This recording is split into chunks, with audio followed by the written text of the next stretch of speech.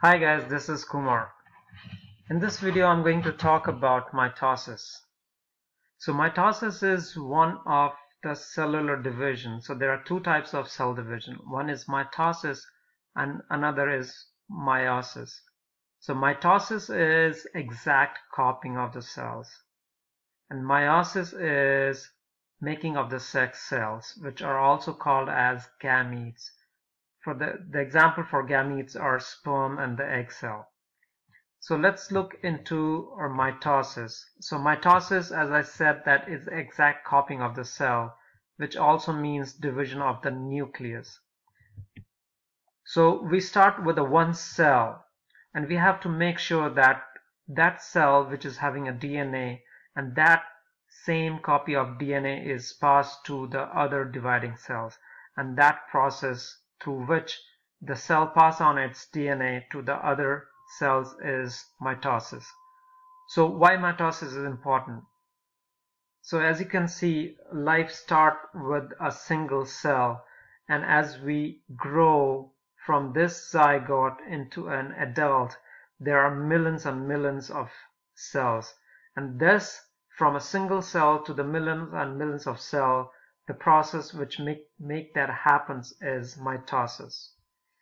And this lizard, it grows or it, uh, you can say, uh, regenerate a new tail is through the process called mitosis. And when you get hurt and develop a scab, the scab development is the process through mitosis. So Mitosis is really important because the DNA in the nucleus is passed on to the daughter cell through the process mitosis. So let's uh, look at the stages of mitosis, but before we need to know two terms. One is diploid and another one is haploid. So let's suppose there is a cell and in which in the nucleus are DNA. So in haploid, has one copy of all of its DNA. So here you can look at this. So uh, DNA are organized in chromosomes. So let's name these chromosomes as chromosome 1, chromosome 2, chromosome 3. So we name the chromosome, it's from longest to the shortest. So in this you can see there are one copy of the chromosome. So that cell which has one copy of chromosome are called as the haploid and it's represented by N. So here the N is 3. Let's take another look at another cell inside the nucleus. Uh, there are the chromosome which are having two copies. So let's name them as 1, two, three. So chromosome has two copies of uh, chromosome 1 has two copies of chromosome here chromosome 2 has another two copies and chromosome 3 has two copies. So where in diploid there are two copies of all its DNA so here you can see diploid is represented by 2n and here the 2n is 6 Let's take an example of humans. In humans, what happens are the sperms are haploid, which is represented by N, and the number of chromosome in uh, sperms are 23, and the eggs are again haploid, and the number of chromosome in this are 23. So this sperm and this egg, they fertilize to make a baby and in the baby the cell each cell is having 46 chromosome or 23 pairs. So here it is 2n that's they have two sets of chromosome. So let's look into this. So here you can see that there are two sets of each chromosome. So here it's chromosome 1 which has two sets, chromosome 2 has again two sets, chromosome 3 has two sets. So this one chromosome is coming from your dad and this one chromosome is coming from your mom. So here this 2n is equal to 46 and these are diploid since they have two sets of chromosomes. So these are the terms which you need to know uh, before we do the cell division. So let's look at uh, different uh, phases of uh, mitosis. So mitosis is division of nucleus. It only occurs in eukaryotes and it has four stages. Doesn't occur in some cells such as nerve and RBCs which are present in our blood. So there are four mitotic stages. One, it's prophase, metaphase, anaphase, and telophase. So the first one is the prophase, second one is the metaphase, the third one is the anaphase, and the fourth one is the telophase. So just to remember that, you need to remember the first word PMAT that is prophase, metaphase, anaphase, and telophase. So let's look at prophase. Prophase is divided into two, early prophase and late prophase.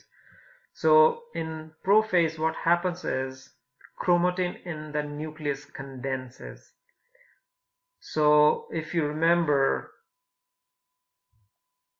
the cell is having a nucleus and this is the cell membrane and inside the nucleus are the thread-like structure having DNA which were called as the chromatin. So these chromatin start condensing to make chromosomes. And if you remember there were small stick-like structures at the end of the cells. And these were called as the centrioles. So from these centriole, the thread-like structure start originating in the early prophase. So these centrioles are found at the opposite corners or the end of the cells and from these centrioles the thread-like structures start uh, forming up.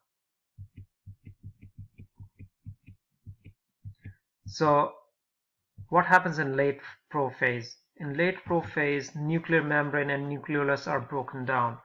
So you can see that uh, outside the nucleus is nuclear membrane which starts to disintegrate. And inside there was a inside the nucleus there was a structure nucleolus if you remember. So the function of the nucleolus was to make ribosomes so in late prophase this nuclear membrane and the nucleolus are broken down and inside the nucleus the chromosomes start condensing up so that from the thread-like structure they start forming a condensed form into chromosome and structure like this. So if you look at the late prophase you will find the nuclear membrane disintegrating. So in early prophase we have seen that uh, there were small stick-like structure and they started forming the spindle fibers. So what happens is these spindle fibers start get attaching to the chromosomes in the center which is through centromere. So these spindle fibers are going to get attached with the centromere of the chromosome. So that happens in the late prophase. So let's review the prophase. In prophase, the nuclear membrane disintegrates and nucleolus disappear. chromosome condenses, mitotic spindle which are these thread-like structure and the chromo you can see the condensed form of chromosome and the kinetochores begins to mature and attach to the spindle. So these are the kinetochores and gets attached to the spindle.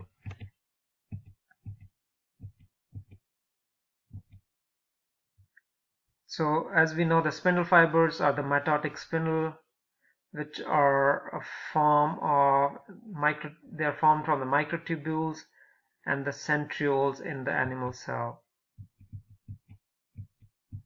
So what happens in metaphase? So you can see here in metaphase the chromosome attached to the kinetic fibers. So these are the kinetofibers and you can see the chromosome gets lined up at the equator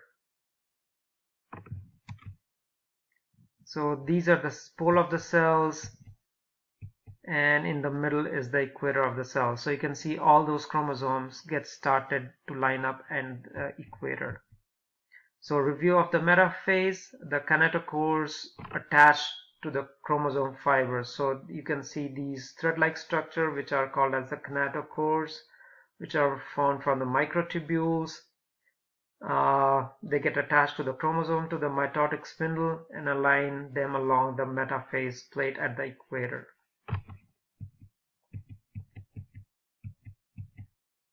Anaphase. So anaphase occurs really rapidly that it takes a shortest duration of time. So you can see all those uh, chromosomes which were attached with the centromere to form the two sister chromatid in the previous phase which was the metaphase. In anaphase what happens is their sister chromatids which were like this they are pulled apart to the opposite poles. So you can see still see these uh, centrioles. These are the spindle fibers. They pull the sister chromatid to the opposite poles and these thread-like structure are called as the kinetochore fibers.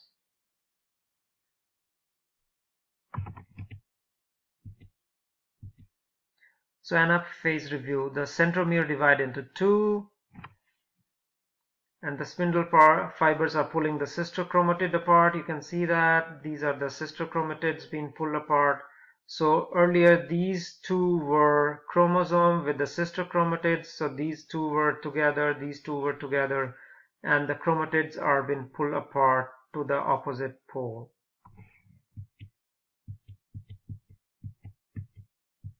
So telophase, which is the last phase of mitosis. In this, the sister chromatids are at opposite poles spindles disassembles nuclear envelopes which I was uh, disintegrated in the first phase starts coming back and each set of the sister chromatids are on the opposite poles and the nucleolus reappears. And it's a time for the cytokinesis. And the chromosome reappear as chromatin. So those are with a single strand with called as chromatin.